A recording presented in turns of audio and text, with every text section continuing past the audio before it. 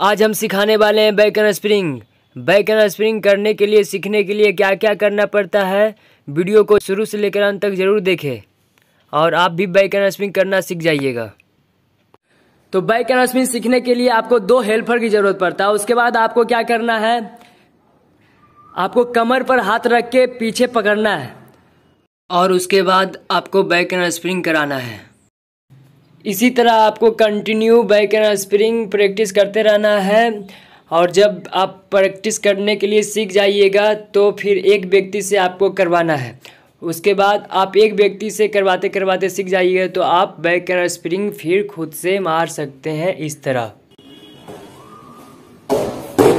फिर आपका back and spring complete हो जाएगा।